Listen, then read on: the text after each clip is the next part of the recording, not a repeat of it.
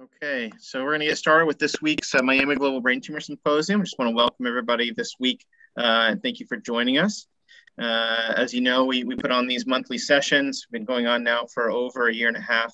And uh, I want to thank all of uh, the, the co-directors that helped me plan these. Uh, Dr. Komotar is the professor and program director here, director of our residency program. Dr. Morcos is professor and co-chairman of the Department of Neurosurgery, also director of our skull base and cerebrovascular program and Dr. Benjamin is director of our skull-base lab and assistant professor focused on brain tumors and skull-base surgery. Uh, additionally, uh, all of the help that goes on with the administration from both University of Miami Department of Neurosurgery and Sylvester Comprehensive Cancer Center, um, and everybody involved kind of putting these on each week. Uh, these are the people who actually make this happen, and I want to thank them again uh, if anybody wants to learn more about the University of Miami or about our webinars, you could always find us on the internet. Uh, we have a YouTube page where all these sessions are stored. I please encourage you to uh, go check them out. Um, and also you can follow us on social media for any questions or updates. As you know, there's two other webinars that we have monthly, a pediatric symposium as well as a cerebrovascular skull base symposium, and, and, this month is no exception. We have a great session coming up on Monday, October 11th, uh, talking about hydrocephalus research advances and future clinical directions, um, as well as uh, Dr. Morcos's uh, skull base and cerebrovascular symposium, which will be on Thursday, October 21st. Uh, with a, a, debate on cerebrovascular surgery with, with some of the some of the greats. So I uh, definitely please check those out. And just a reminder, our next session will be on November, uh, um, first week, first Wednesday in November, just like every month at 5 p.m. So please make sure to join us then. For housekeeping, uh, we, don't offer CME, but you do get an email of participation. We, we encourage you to like, follow, and share. And, and we try to make today as interactive as possible. So please use the Q&A button and we'll try to get to all your questions throughout Dr. Bruce's talk tonight. Uh, start the introductions for tonight. We have a, a group of panelists that are, are, all involved with us here at University of Miami. I want to thank them again for joining us. Dr. Higgins uh, is joining us also from Columbia. Uh, I'm sure he'll, he'll have uh, some things to say about Dr. Bruce and his teachings uh, in a couple minutes. Uh, Dr. Patel, who's joined us from Rutgers, and Dr. Cater, who's our internal fellow, all uh, great residents and fellows who are, are, here at Miami and will be presenting some cases at the end of tonight's session. So please stay tuned. Uh, I'm going to let Dr. Higgins uh, take over and, and do a, a, short introduction here for, for our tonight's special guest. All right. Thanks, Dr. Ivan, and thanks, Dr. Bruce, for uh, joining our uh, lecture series today. It's an, it's an honor, and it's an honor to be able to introduce my uh, one of my mentors and my former program director from residency at Columbia, Dr. Jeffrey Bruce. Uh, he did his undergraduate studies at University of Virginia and then went on to medical school at UMD Robert Wood Johnson. Uh, and then he uh, did residency in, in, neurosurgery, obviously, at uh, the Neurologic Institute, Columbia Presbyterian, uh, where he then stayed on as uh, faculty um, and uh, has had just you know a phenomenal career and, and one that we all aspire to to emulate. And um, Dr. Bruce really holds all those pillars that that um, I think make it a, an outstanding academic neurosurgeon. Um, he runs an NIH-funded laboratories, director of the Brain Tumor Center at Columbia, um, and director of the Bartoli Lab, um, and conducts um, you know cutting-edge research in convection-enhanced delivery um, and uh, immunologic responses to, to chemotherapy and, and brain tumor treatments. Um, and we have a number of projects that we worked on while I was in his lab as well. he's uh, an excellent teacher. He's our program director um, uh, for myself and actually for Dr. Komotar too while he was there. Um, and uh, really has a dedication to, to resident education. We have weekly operative nuances uh, conference despite his busy schedule where um, you know we get the the grilling uh, every uh, Wednesday morning, which um, you have to to be prepared for. So it's actually nice to be able to show him a case now. Um, and uh, every year we'd, he'd have all the residents out to his house for a retreat where we you know, he takes all of our feedback to, to improve the program.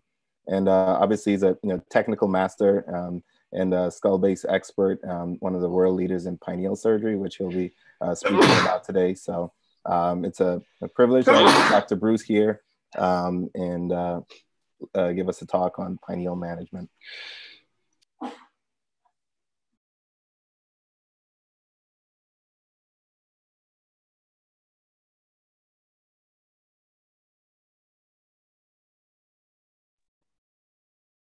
Okay, well, Dom, thanks so much for that generous introduction. It's it's great to see you again, and I'm I'm delighted to be part of this program today.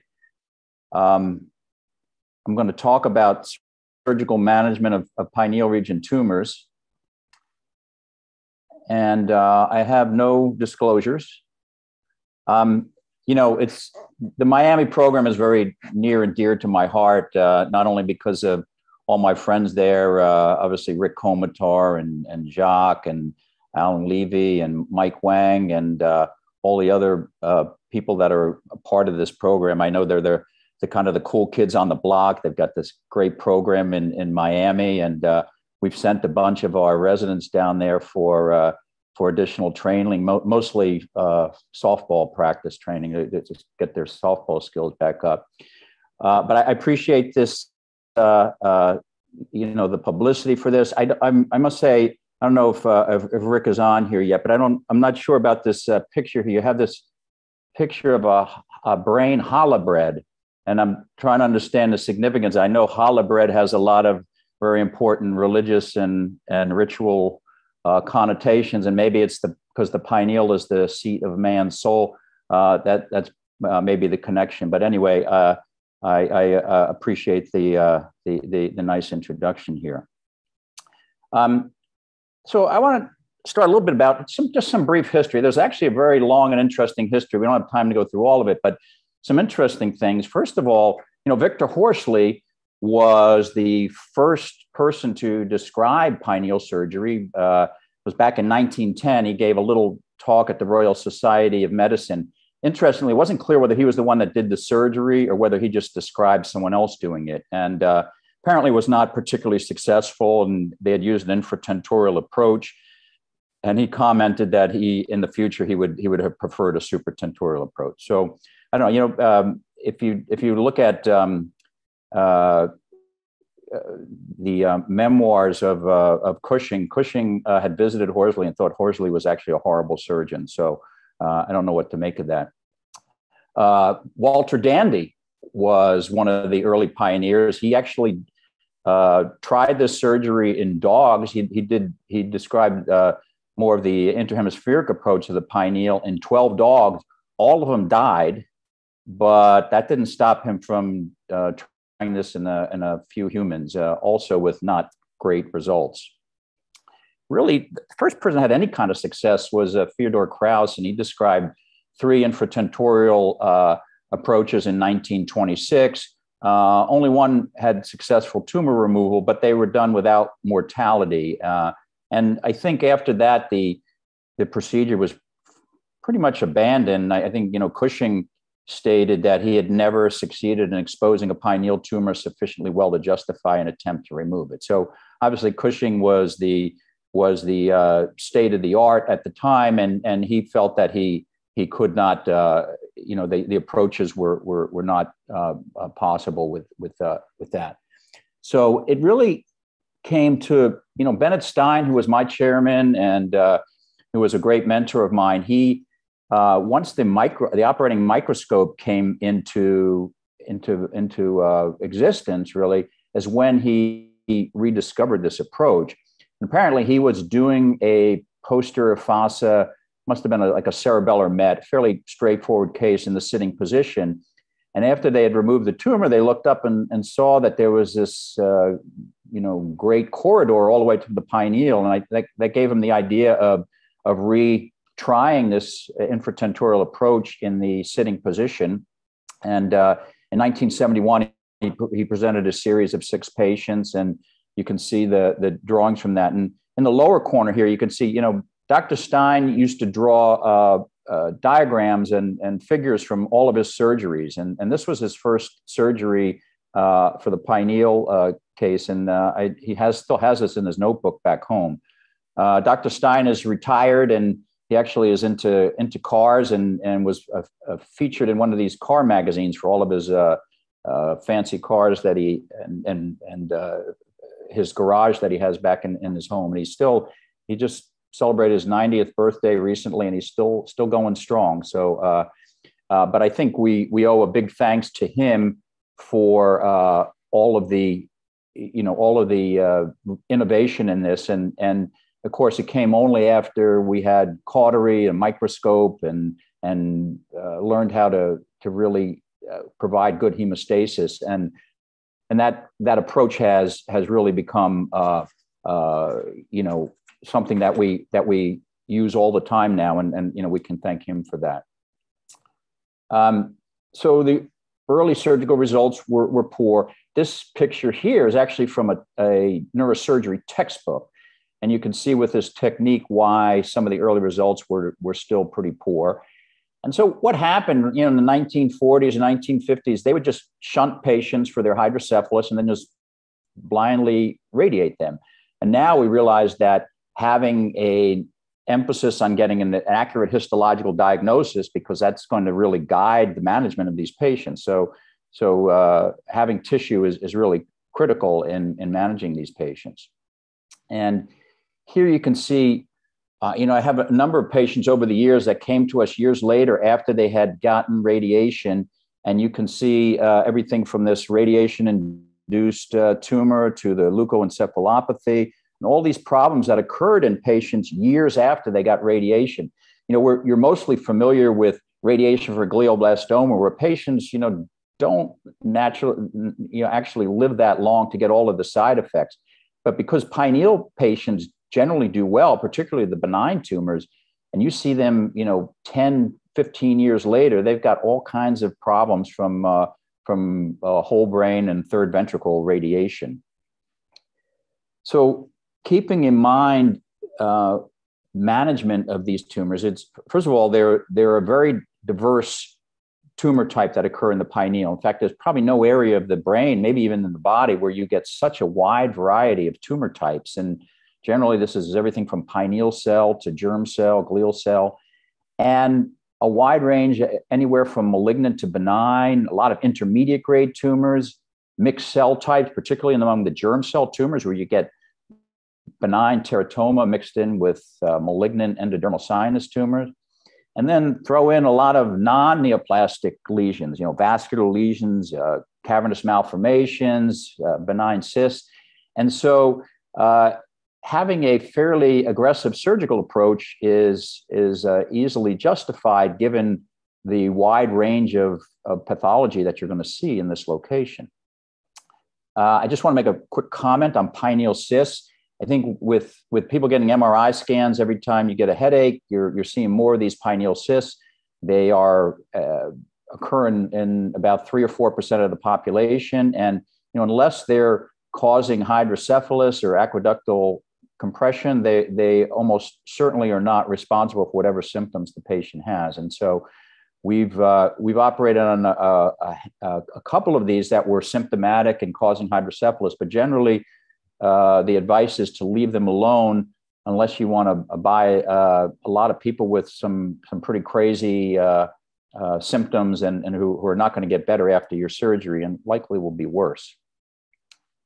Um, here, though, you can see that, as I explained, there are a lot of different tumor types that occur in the pineal, and many of them look alike radiographically. So MRI scans not really a good way to distinguish among tumor types. Here you can see an ependymoma, pineocytoma, and germinoma, everything from a from a low grade to a high grade malignant tumor, and they they look fairly the same on, on T1 with and without contrast. So you're not going to be able to predict the histology uh, very reliably. So I would say that diagnostically, a tissue diagnosis is pretty mandatory. Uh, the only exception is when germ cell markers are positive. And obviously, anyone with a pineal tumor should have uh, serum germ cell markers and, and uh, preferably CSF as well. And if the beta HCG and or uh, alpha fetoprotein are elevated, then by definition, this patient has a malignant germ cell tumor, and you don't really need a tissue diagnosis. You can treat them with radiation and chemotherapy. They may require a second look surgery after the adjuvant therapy for any benign elements that are not adequately treated with, uh, with the radiation and chemotherapy. Um, um, but there's no need for a tissue diagnosis in, in that case. So, uh, what about the uh, advantages of an open resection? Because we have Uh, there's been some debate about just doing a stereo biopsy and radiosurgery, and certainly for certain patients that's that's uh, true. But I would say for the vast majority, there's a benefit of open resection. Uh, definitive diagnosis for one. Uh, I don't know about you, but our our pathologists, you've given them a very small piece of tissue from a stereo biopsy, and they have a very difficult time telling you exactly what it is. So having the uh, being able to get adequate tissue sampling is, is very helpful for uh, establishing an accurate diagnosis. Um, probably slightly more than a third of pineal tumors are benign. So surgery alone is going to be curative for those patients. You can often get a, a very good resection, which we'll talk a little bit more about. And so you're going to you're going to essentially cure uh, over a third of them with surgery alone. Many non benign tumors can be completely removed, and in many cases, we hold off on radiation in them. I would include in that group uh, intermediate pineal cell tumors and some ependymomas. So surgery alone can can be uh, adequate treatment for some non-benign tumors as well. And when you're talking about the malignant tumors, the the malignant uh, germ cell tumors or malignant pineal cell tumors, if you look at uh, our long-term follow-up, those patients where we've been able to do a, a, very radical resection, they're going to do better in the long run, um, both from the debulking, but also having a better response to radiation and or chemotherapy. And I think in general, we we can find that the operative risks are acceptable. I think with the current, you know, microscopic techniques, the operative risks are, are, are very acceptable.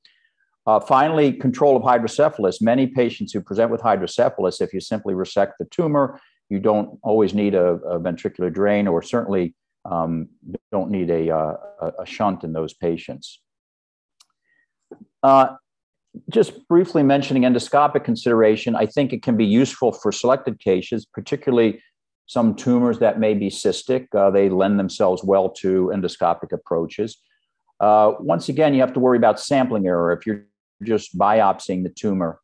And the bleeding risks can be considerable be- because most of the time you're going to be going through the ventricle and all you need is a little bit of blood and it's going to obscure your, your vision and, uh, and obviously affect your ability to get uh, adequate hemostasis. So I think um, there are some very nice articles of people who have described successful approaches endoscopically. And, um, you know, I think that we, we need to uh, pay attention to that. Um, but I think in general, uh, you know, my feeling with with our experience is that in, uh, the open procedures are really going to be desirable for most of those patients. Um, another advantage is you can endoscopically is you can combine it with the ETV. Many of our patients have an endoscopic third ventriculostomy prior to the surgery to treat the hydrocephalus and allow the brain to decompress. However, if you're going to try and do a tumor resection at the same time, usually you need a separate burr hole because the, the burr hole you need for your ETV is not going to get you back far enough in most cases.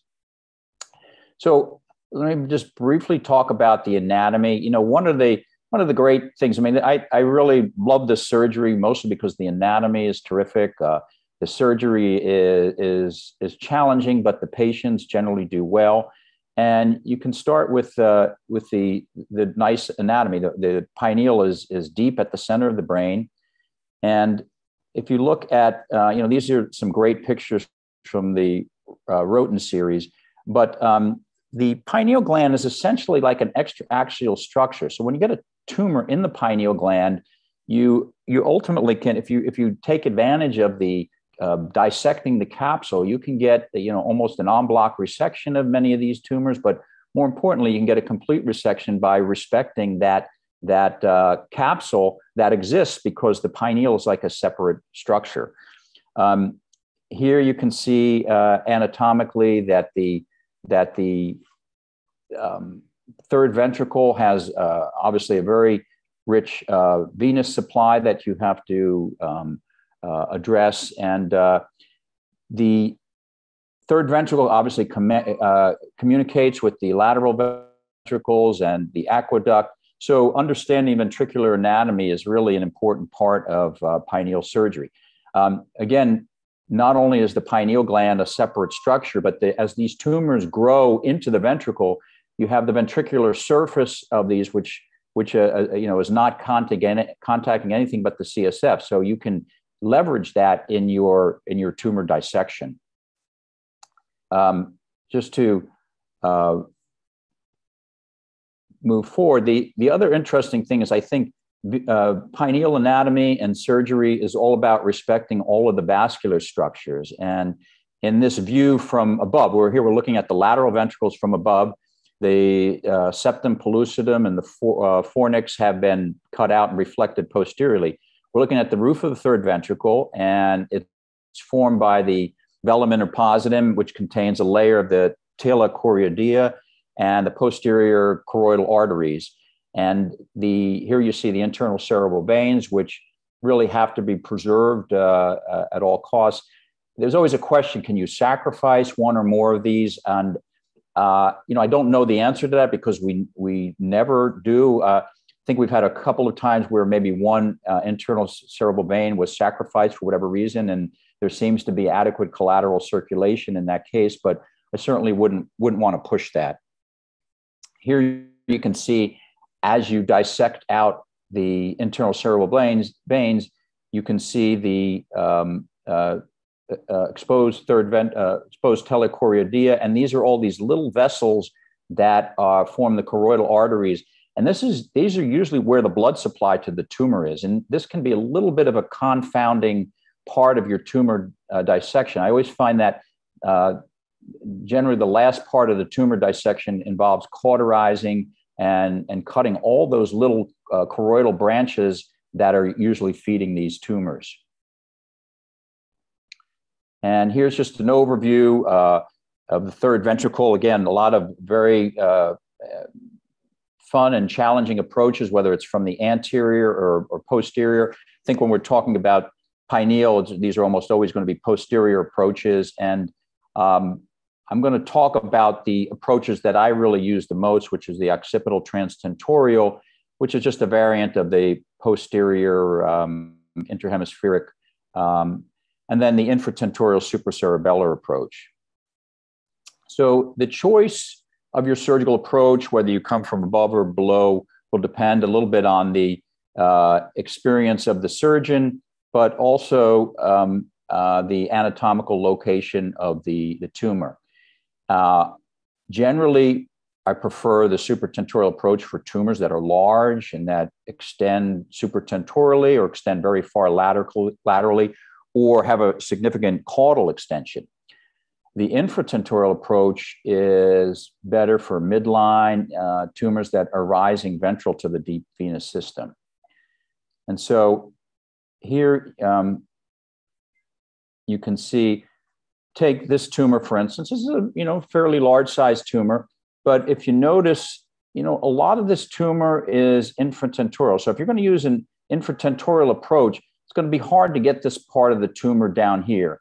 Uh, you, you can do it by gradually decompressing the tumor, but for a tumor like this, I prefer the occipital transtentorial approach where you come interhemispheric, you open the tentorium, and you're really looking at the um, the, the geometric center of the, of the tumor. So the advantages of the occipital tentorial approach are you get a broad exposure, you get a good view of the quadrigeminal plate, and you can do this in the prone or I prefer the lateral position for this. And um, in the lateral position, your, your hands are, are sort of parallel to the operative uh, uh, trajectory, and uh, you, you, have a very comfortable approach. Uh, the disadvantage is that you might see the internal cerebral veins and the precentral cerebellar vein uh, overlying the tumor. You do require a little bit of occipital uh, retraction, and that can sometimes lead to transient visual field defects. Um, and you may have to sacrifice at least uh, uh, one bridging vein between the hemisphere and the sagittal sinus. But generally, that, that's not a, a problem. What you do have is some difficulty uh, with if you have tumors that are extending very far anteriorly, it can be sometimes hard to see that. So you, you have to be a little careful about uh, how far anteriorly the tumor is going to extend. So here is uh, the approach I prefer. It's a lateral uh, lateral approach. I like to have the head turned down so that the nose is, is towards the floor, and that allows the, the brain to naturally um, uh, fall back and retract from the brain. Um, many times I'll use a spinal drain, but not always. I like to have good brain retraction. Uh, I used to use brain retractors all the time. Now I, I don't use brain retractors anymore. Um, certainly for pineal surgery and, and, really for most of the tumor surgery I do anymore. I, I, try to set it up in a way with enough brain relaxation and the right trajectory so that I don't need uh, a brain retractor and just the natural uh, gravity uh, allows the retraction that I need. Here is the, the exposure. I, I like to extend the craniotomy across the sagittal sinus so that I can get good exposure to the interhemispheric fissure and there's invariably going to be one uh, bridging vein. You know, my sort of rule of thumb is I I don't mind taking one vein, but I try to avoid more than one. Uh, I think uh, yeah, I've, I've not never gotten into trouble just taking one vein, um, but I think it, it's it's wise to avoid uh, a second vein. And you can see by having a wide enough exposure, you can you can come from a more posterior or more anterior direction, so you can work your way around if you happen to have a lot of veins in your way. Here is uh, the approach after your craniotomy. Uh, the brain is retracted here, and you're looking at the tentorium. Here is the straight sinus. And essentially, what you're going to do is make a cut parallel to the straight sinus through the tentorium. You can see it nicely on the diagram. And once you do that, you're going to be looking right at the tumor. And um, the, this can be a little bit tricky because you know, the tentorium, the, the leaves of the tentorium that make up the sinus, those, those, that, that sinus can extend a lot more further laterally than you can appreciate here. So you have to be prepared to really cauterize the tentorium before you cut it. Uh, otherwise, you can risk some pretty uh, brisk bleeding. I usually make the cut as far laterally as I can to avoid that. And then I just cauterize the edges of the tentorium right up to the straight sinus. And the, the tentorium will shrink up once you, you cauterize it. And this is kind of what you're, you're looking at. You have the deep venous system here, the corpus callosum, here's the cerebellum, and here's your, here's your tumor. And you can see you have a nice, nice view of that. And here's a, a picture of after the tumor is removed. You're looking, here's the falx. Again, this retractor is on the, the uh, brain hemisphere. And again, uh, this is an older picture. I don't I don't use retractors at all anymore in these in these patients. And here is a just a brief video to, to kind of show you what we're what we can see. So here is the tentorium. This is the uh, um, parietal occipital lobe. Here's the falx, and here's the straight sinus here. So we put a stitch here to kind of lift up the tentorium and make it easier to cut into. And we're going to divide the tentorium here. Here you can see 11 blade, we're, we're cutting into the tentorium. And then once the tentorium is open, we can slide a cottonoid under, and I just, I simply use a Bovie. It's, it's nice for cutting the tentorium and also getting hemostasis. And here you can see now you have the, the tumor exposed.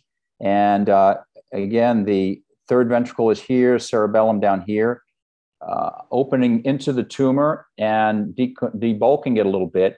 But mostly, I don't try to debulk too much of the tumor at first. I like to use the capsule of the tumor as a way of dissecting from the, the surrounding brain. Here, we've, we've decompressed the tumor, then we're cauterizing the capsule and shrinking it away and trying to remove it almost as an en bloc specimen. And when you have a nice capsule and a nice tumor plane, you can you can remove these tumors and separate them from the brain stem, from the dorsal midbrain, and from the deep venous system. And uh, here's your view after the tumor's removed. You get this beautiful view into the third ventricle and down the aqueduct. And um, so that you know that's really what you can accomplish with the occipital transtentorial approach. Here's a before and after, and you can see. So even fairly large tumors can be removed uh, with, this, with this approach. Okay, the, the supracerebellar approach, this is sort of the main workhorse. This is, we use this approach for probably 80% of our pineal tumors. uh, the advantage is it's a direct midline approach. So you're you're in the midline. The anatomy is a lot easier to appreciate from that uh, midline approach. You would avoid the deep veins because you're working underneath the deep venous system. You do have the precentral cerebellar vein, which we'll talk about. And if you do this in the sitting position, gravity allows the cerebellum to, to drop down.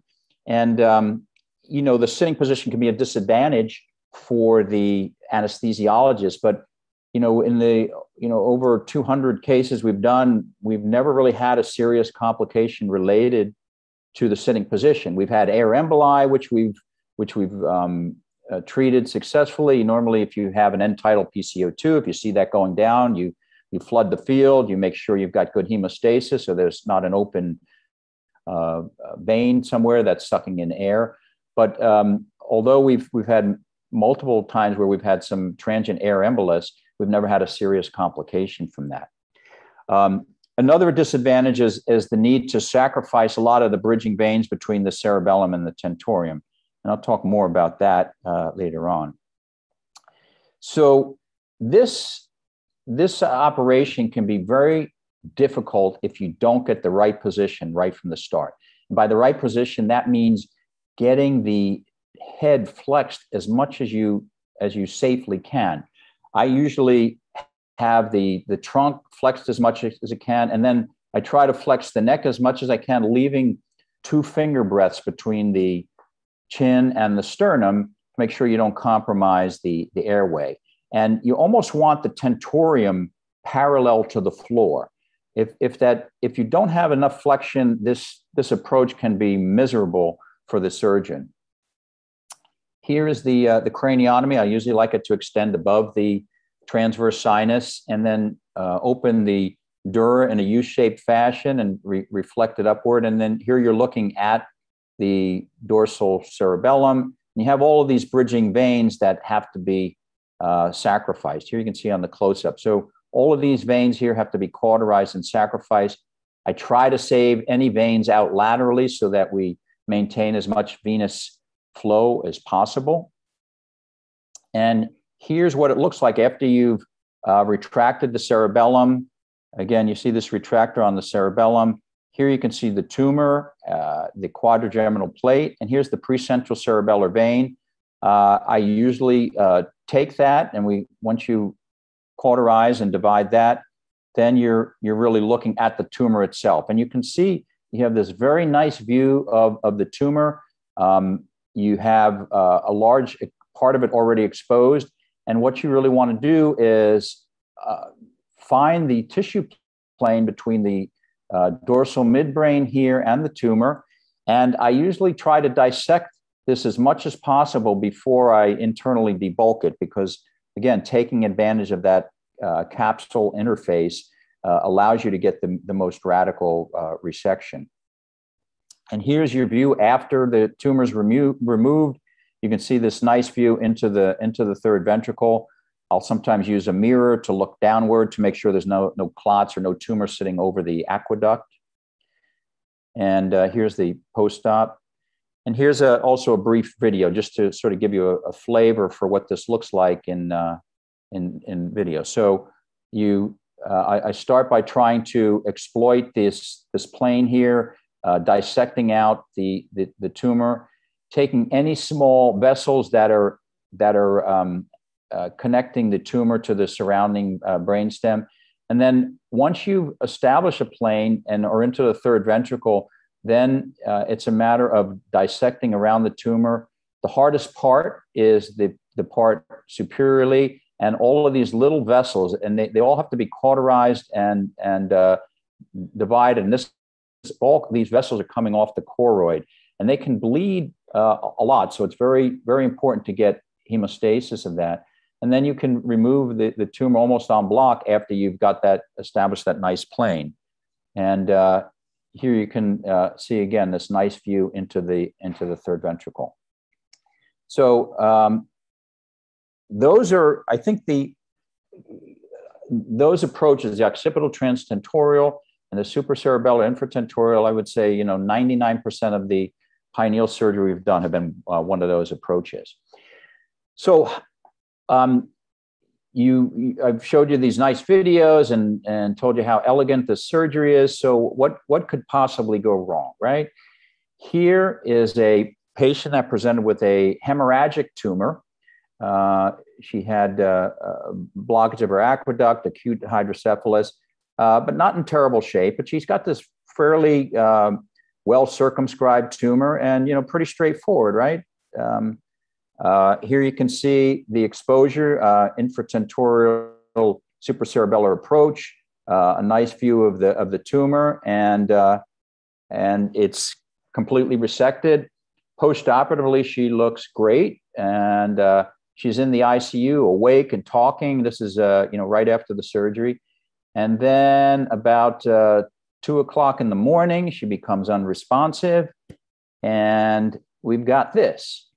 And what you see there is this essentially a venous infarct of the cerebellum. And this turned out to be a real tragedy because that venous infarct extended into the brainstem. Uh, and ultimately, uh, long story short, her family made a decision to um, uh, withdraw care. And ultimately, she died from this venous infarct. And what that um, what that was from is uh, from from all of the the venous um, structures that we presumably took to get to this approach. And what I found is we've we've done over 200 of these approaches, and we've had this happen twice. And so this tells me that that most patients have plenty of collateral venous drainage, but about 1% of the population if you take their midline cerebellar veins to get to this approach, one in 100 patients is going to have a severe venous infarct and potentially fatal. So um, now, you know, dealing with pineal tumors, these are difficult tumors. They're they're high risk in a lot of ways, but to have a one percent mortality related to that, you know, made us think, well, maybe we have to rethink this this approach. And so we started looking into the lateral supracerebellar infratentorial approach. And this is essentially the same approach, but instead of from the midline, it's, uh, it's lateral. And what, what you do here is the, the incision is made uh, midway between the, the midline and the, um, the sigmoid sinus. And you need a much smaller opening, much smaller craniotomy, but extends above the transverse sinus. And this is the view laterally. Um, uh, you can see the cerebellum uh, uh, coming away from the uh, tentorium, and you ha- don't have any veins in your way because the veins are all midline over here. But by coming laterally, and, and if you think about how the tent is, the tent is, is this very angular structure. So by coming laterally, you actually get a lower trajectory, which can be very useful for when you have tumors that are extending into or, or standing above the dorsal midbrain. Here again is Rhoton's anatomy. You can see it's, it's, it's a tricky approach because it's the corridor is smaller and you still have all of these, these vessels to work around. And uh, here is the, again, here's the view. Here is what this, what this looks like. And so you have to, you have to find a very narrow uh, course between these veins because you really can't, you really don't, certainly don't want to sacrifice any of the arteries and you don't want to sacrifice any of these uh, veins. But um, with uh, under the microscope, you have a, a, a, small corridor, but this is essentially the tumor here. And here you can see what this looks like after you've removed the tumor. So it's it's a little bit more challenging, but a much safer approach. And I think that uh, having had a lot of experience with pineal surgery before I tried this approach, I, I, I found that um, you know, we were able to do this uh, not only successfully, but I think this would have been harder to do if, if, if, if when I was first starting out doing pineal surgery, I tried to do them from a lateral approach.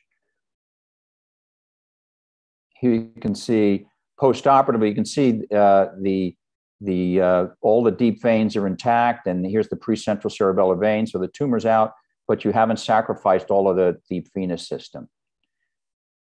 And uh, here, just a, another quick video. So here, sorry, here is uh, what this looks like under the scope. You have the cerebellum, And again, no retractors.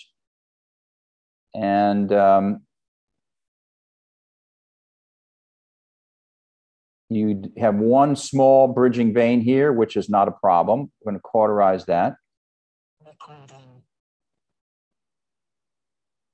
And then here is under the microscope, you can see dissecting the tumor from around all of the arachnoid, opening the arachnoid widely, seeing the bottom of the, the tumor, and then internally debulking the tumor a little bit here if you have a if you have a large tumor and and and need to see that um, capsule better. So internal debulking of the tumor, and that allows everything to decompress. And then we simply keep working around the, the capsule of the tumor. In this case, you can see now we're in the ventricle. You can see the CSF welling up there. And um, it's a matter of making sure then that you exploit that, that plane. And here's looking into the uh, third ventricle after the tumor is removed. Uh, and again, you have a nice, a nice view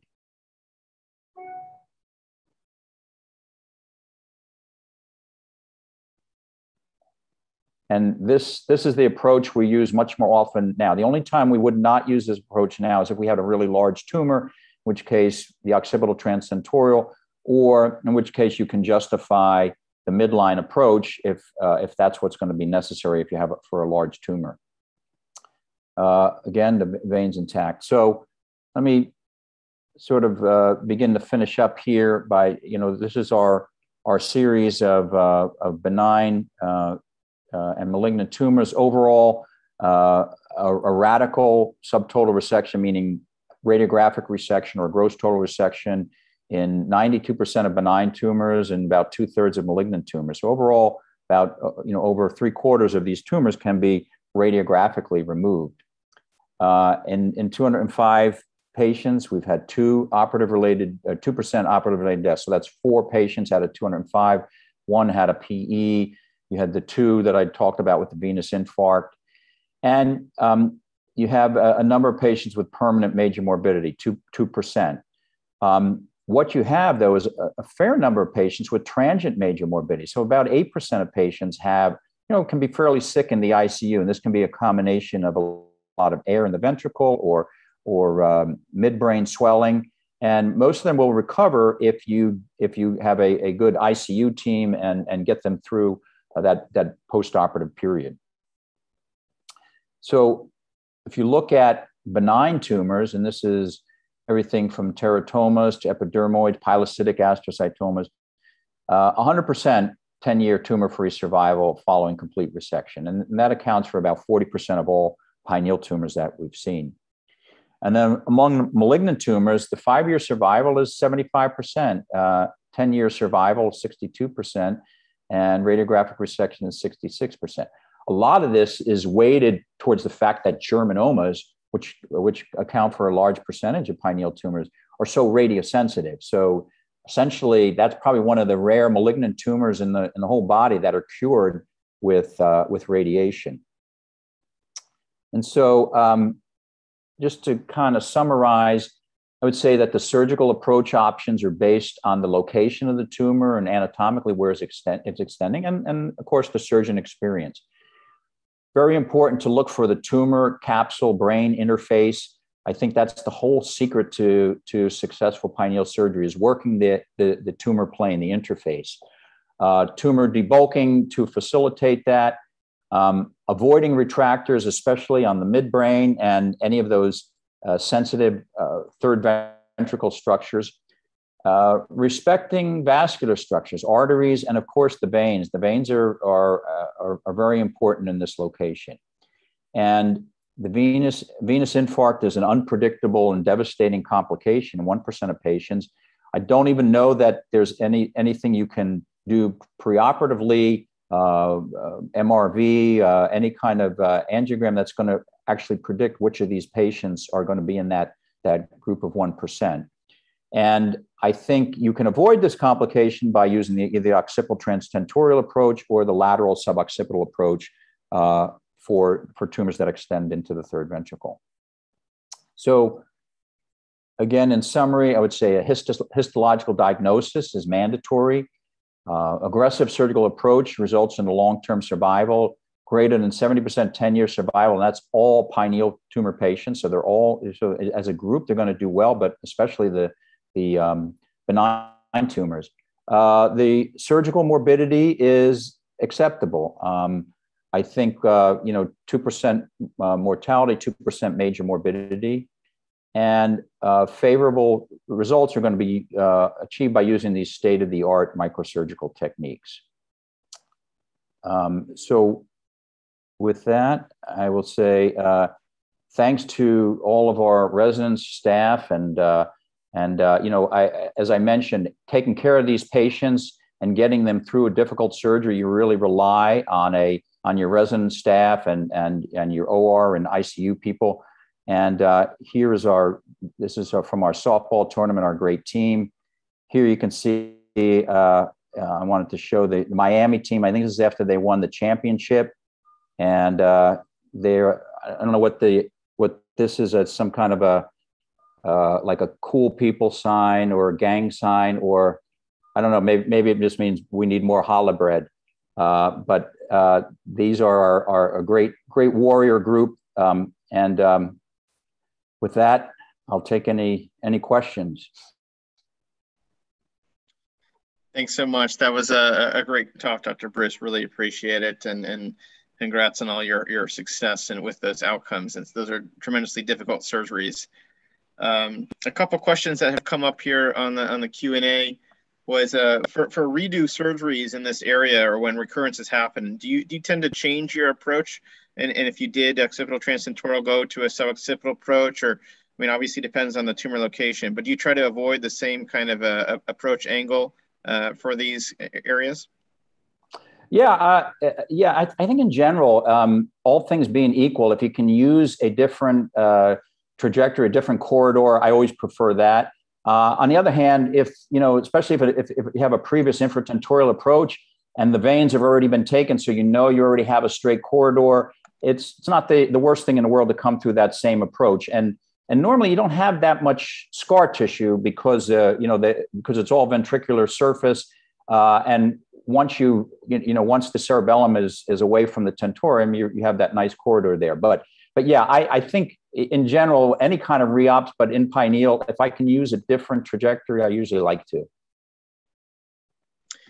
And and for the you know for the residents, I always feel like it's it's difficult to know how big to make the dural opening. You know, a lot of times they make it either too low or that not low enough? What, you know, I saw you put gel film in there because you're always worried about compression of the cerebellum on the tentorial on the on the dural edge. How do you tell your residents to kind of make that opening just in the right position so that it's not too big or too small or or whatnot? Yeah, so so you know, as, as over time, I, I see uh, Jacques there, and I think Jacques Morcos will will tell you as, as you as you get more and more experience, you do everything through smaller and smaller approaches and incisions. So the, the interesting thing about the uh, infratentorial approach is, you know, the when you open the dura, the the uh, the dura acts kind of like a sling, and it and allows the cerebellum to sort of cradle it. And so, um, what I find is that I don't need a large dural opening. What you need is a little bit a, little bit more of the, the, craniotomy needs to be large enough so that the dura, once it's open, will just relax and, and cradle the cerebellum. And so, um, I just make enough of a, a dural opening, a U-shaped opening, so that so that you you essentially kind of uh, can reach into the into the cerebellum. But the the opening is going to naturally fall back, so you don't need a big opening. And I I don't like exposing the the dorsal cerebellum. Any any basically anytime you have brain exposed that doesn't need to be exposed, it's it's sort of a, a natural place to get stabbed with a cautery or a a freer or something. So keeping it keeping it covered is is really important. Jacques, did you want to make some comments yeah, to that? Yeah, Jeff, wonderful talk, by the way. Thank you very much for joining us on this very popular series that Mike has put together. Um, you know, I, I have not, I don't think I've used the sitting position in maybe 15 years. Uh, I've really been very happy just with the Concorde position, but the true Concorde, not a true prone. And then getting CSF from cisterna magna without doing the craniotomy down to cisterna magna. And I just, you know, the anesthetic hassle of the, and now of course, in your, at your place, they're used to that sitting position and so forth, but I, I've not, I've not really regretted it. But oh, any comments? I mean, as you know, our friends, the Europeans, Marcos Tatagiba, by the way, whose name I saw among the participants, uh, of course, is a huge proponent uh, of the sitting position as well. He, yeah. he, actually doesn't like it. He doesn't like the word sitting. He he teaches a course. He says the slouching position. He would yeah. have the head level with the feet. You know. Well, so so you know, um, I mentioned Ben Stein, and Ben did really the hard work because back when he was doing sitting position in the late 70s, early 80s, yeah, the anesthesiologists uh, w- w- fought him all the time. And he just, you know, he, Ben was Ben. He was going to have his way no matter what. And so he kind of trained the anesthesia. So by the time that I was doing them in the early 90s, the anesthesiologists were comfortable with the position. And, uh, you know, when end tidal PCO2, when you, when you, when you started to be able to, to uh, monitor that, it became a lot easier. You didn't have to wait for, uh, uh, un, until the uh, un, until you you had the um, uh, until you could hear, hear the air on the ultrasound. And so, you know, we naturally just came up with a with a group that already accepted that. Um, I, I, would say, uh, have you tried lateral position for the infratentorial approach, Jacques? Because that would seem to me that the way I, I would uh, think about it. Yeah. Do, you like lateral position? The, the, the heavy, the high BMI patients, I put them three quarter prone or lateral, as you say. Yeah the relatively yeah. normal body habitus you know prone with concorde with that with that flexion um, yeah I, yeah you know and, and again no self-retaining retractor as long as we get csf out yeah yeah so yeah I, I always have to make a decision sometimes i'll put a spinal drain if i feel like it's going to be too tight and then i'm going to have to and then it's going to be too hard to get csf off uh, um, from the cistern before i can you know safely do it i'll put a spinal drain in but um, it, it, it varies yeah, you, uh, brain it, uh, brain relaxation is essential for this for these approaches, no question. You're deep, deep in the center of the brain. You have to have good brain relaxation. And in fact, I would say if if you're starting out in, in your practice and it's early on and you're doing one of these and you have a lot of brain swelling before you even start, I, I would say back out and either reassess, come back another day, try a different approach. But uh, you're not you're not going to achieve the, the, the your your goals if you if you have too much brain swelling. Dr. Bruce, fantastic talk. So you, and along those lines, you said um, you don't always use the lumbar drain. Do you base that off of BMI, or is there anything preoperatively that suggests to you when when you do or versus when you don't use the lumbar drain? Uh, you know, uh, so most of these patients already have an endoscopic third ventriculostomy. I would say more than half, probably two thirds, three quarters. So if I'm comfortable that the brain has relaxed enough, I, will uh, you know, and, and, and, normally when you have this massive hydrocephalus, you do your ETV, everything is, is relaxed. And so usually you don't need a spinal drain. Probably I'm more inclined to use a spinal drain in somebody who's got either early hydro or mild hydro. And I know that I'm just, once the tumor's out, their hydrocephalus is going to go away, but uh, I'm, I'm concerned that there's going to be too much, um, you know, the, the brain's going to be too tense. So uh, if there's an ETV first, or certainly some patients come with us have already been shunted or have a ventricular for whatever reason, those patients don't need it. But if if they don't, then I then I would seriously consider um, a spinal drain. And do you uh, typically go from the non-dominant um, occipital transtentorial side? Um, is there yes, in general, and yeah, in general, coming from the non-dominant side, unless unless the tumor extends uh, to the other side um, uh, to extent where, where it makes it more sensible to come from the opposite side. Interestingly, it's you know the the contralateral side is generally easier to get to. So um, uh, you know you, you have to keep that in mind when you're when you're making that decision. Thank you. Okay, so let's uh, let's get to some of the cases. Uh, Dom, do you want to go first? Yeah, sure thing. Uh, let me share my screen.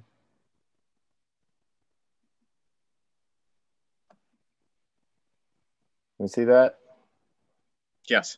All right. Well, thanks, Dr. Bruce. Uh, great talk, and it's great to hear, you know, some of the things you've kind of ingrained in us. Um, in a, that might have been you in one setting. of the videos, Dom.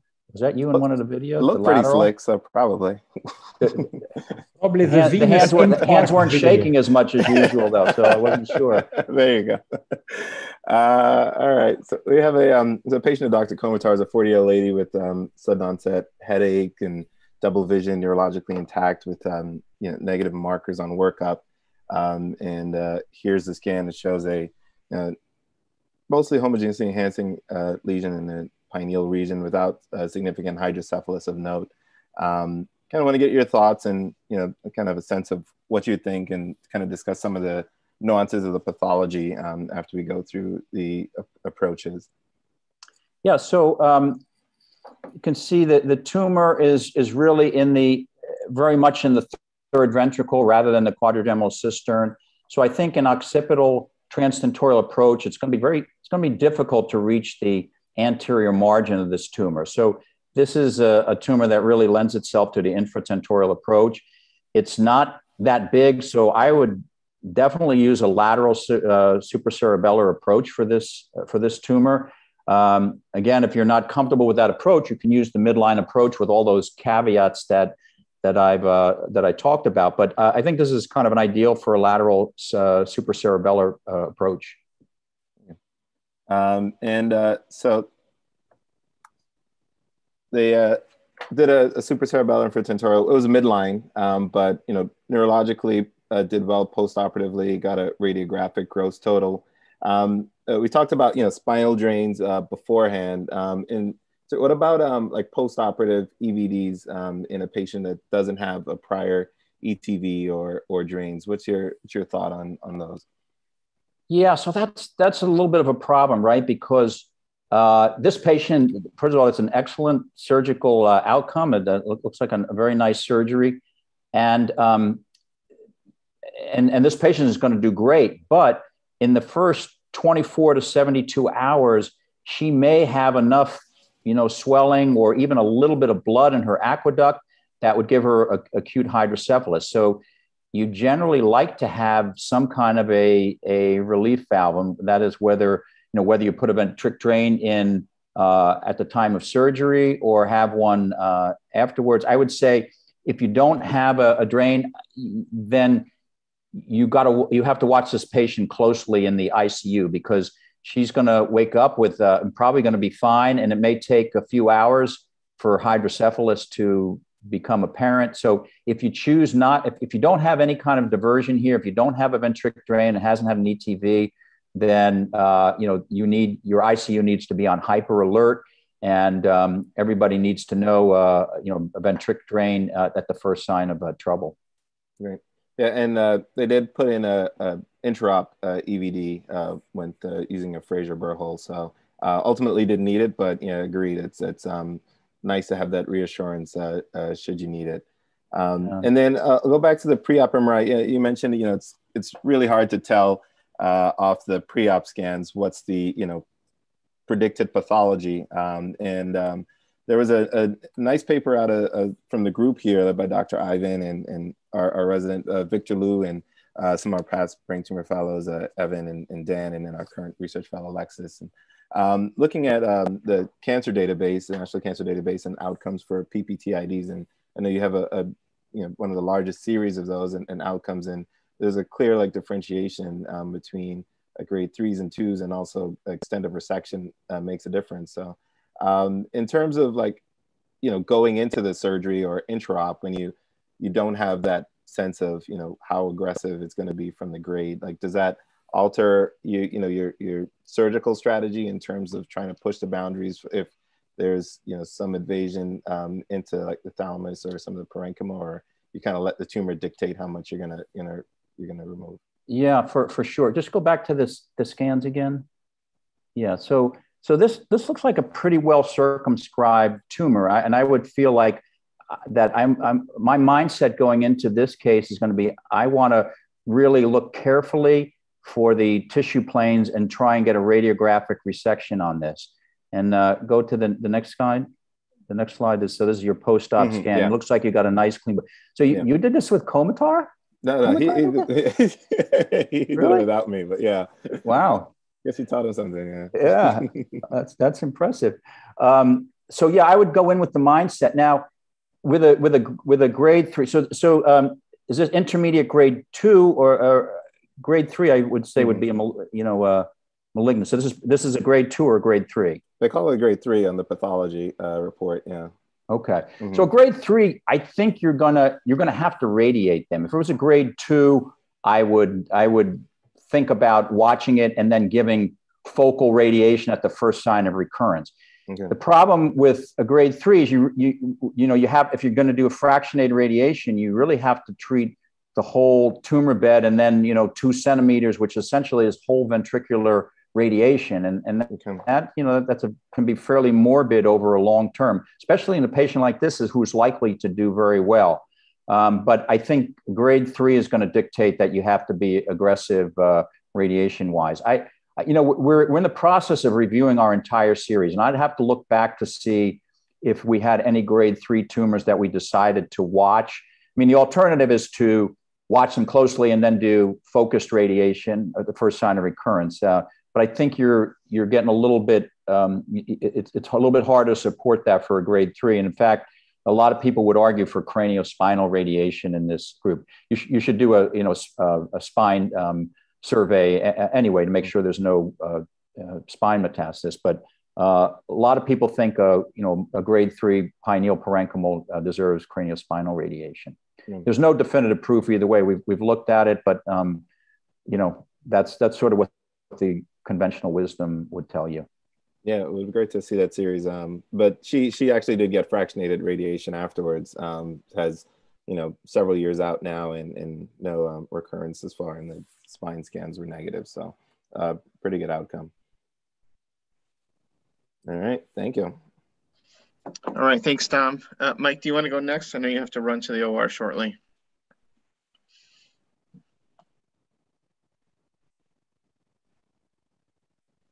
And just unmute yourself too.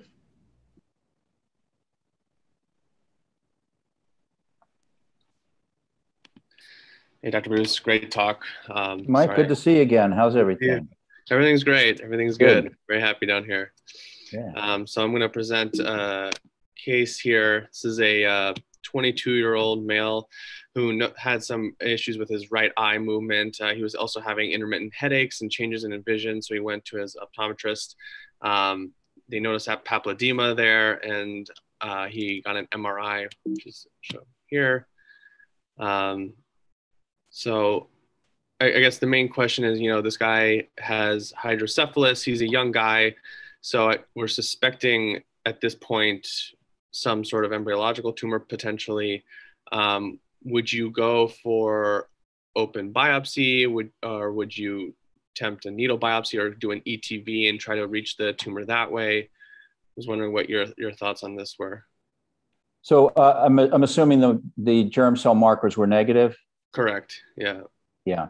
So in, in a 20 year old male with a tumor that looks like this, I'd say this is a pretty high likelihood of being a germinoma. And with the with the markers being negative, then it's it's probably a pure germinoma, which means it's going to be exquisitely radiosensitive. Um, it's hard to get a complete resection of these because they're invasive into the thalamus. So so you, uh, in terms of uh, aggressive surgery, uh, first of all, um, it's probably not necessary because you because they're radiosensitive. But secondly, um, you know, it's it's hard to find a plane. You can see on this tumor, you don't really see a nice tissue plane that, that you that you like to see for for uh, pineal tumors. And um, in this case, I would do an ETV because he's got hydrocephalus, and you know, shunts uh, shunts should be avoided at all costs for pineal tumor patients. I think everybody is aware that e- e- ETVs can be uh, safe and easy and, and by far the preferred method of dealing with hydrocephalus. Um, so, what I would do though is I would do a stereotactic biopsy coming from a, a, uh, a, a, a, coronal, um, about the coronal suture and, and a little bit laterally so that my trajectory is coming laterally into the tumor and not going through any ventricular surfaces. Because these these are fairly vascular tumors and I'd rather have a needle biopsy coming through the thalamus where any even a small bit of, of bleeding is going to be tamponaded by by tissue pressure rather than coming through the ventricle, where you, you do a simple biopsy through the ventricle on the ventricular surface, a little bit of blood, and suddenly you can't see what you're doing. And suddenly your uh, endoscopic third ventriculostomy is, is closed up. So, um, just to summarize, I would do an ETV and then a, a, uh, a, a, needle biopsy coming through the um, coming through a coronal uh, lateral coronal uh, trajectory. Yeah, so actually, you know, we did the ETV. Um, you know, we sent CSF from the ETV. We were concerned about doing a lumbar puncture in someone with uh, obstructive hydrocephalus. Um, but when the markers came back, that's actually what we did. We did a stereotactic needle biopsy of this lesion, which confirmed the diagnosis of germinoma. And he had radiation. He's been in remission ever since. Yeah, great. That's a you know that's a great great management. That's the ideal management for this patient. He's going to do great. Awesome. Thank you. Yeah, I mean, uh, what's your thoughts on endoscopic biopsy at the time of ETV for somebody? I mean, obviously this anatomy is a little bit challenging because it's it's got that weird angle to it, but um, is that also what you were kind of alluding to that the endoscopic biopsy uh, could lead to bleeding in the ventricle, and and so it's uh, yeah. So okay. so that I mean, I think that's the thing. Your your biopsy, you're, you're going to be entering the tumor. There's going to be bleeding, and and even a little bit of bleeding in the ventricle is just hard to control, and for and especially for all, all you're trying to do is get a biopsy. So I, I don't I don't see a great advantage to to that. Even even even if you could do it through a single burr hole, um, yeah. this tumor extends far an, an, anterior, anteriorly, so you might be able to, but you'd be you'd be straining. Better to do the easy ETV, ETV right through the the normal trajectory, and then and then you know a completely different approach. Okay, thanks. Hey, Jeff, do you have any experience with that rare pathology, papillary tumor of the pineal region? Yes. That's, you, yeah. I have. What What do you What What's your experience with it? I only have two patients. I was going to tell you about one of them in a second. Yeah, I I think it, they you know they they fit into that same uh, grading category. So if it's a grade two, and I felt like we've got a nice you know uh, capsular resection or, or radiographic resection we follow them and uh, and do gamma knife at the first sign of recurrence. And uh, we have a number of patients that we're following that way. Some have been years out and never required radiation. Some of them have got got radio surgery, you know, two three years out. Uh, again, if if they if if the patho- if, if the histology is more malignant, then you know then we we're more aggressive with the radiation. But the, but the same the, the, the same thing. I, I guess the the papillary tumors can the, the thing about them is they they, they don't have a, a um, uniform um, uh, natural history. Some of them are aggressive and some of them are not. And the histology is not always uh, as predictive as, as you might hope it would be. Yeah, they think, well, at, at, least one of my two is extremely aggressive in spite of being radiated. And I'm going to operate on her a third time now. Uh, in two weeks, she she's followed, both of them are followed at the NIH. NIH has a high interest in in this pathology, but uh, I was curious what your experience was. Did it have has the as the third re-op has she had radiation? What what kind of radiation has she had? She's had both gamma knife and fractionation. Young woman, actually, mm. young nurse. Wow. I removed. Yeah. I, I, was not the first surgeon. I was a second surgeon.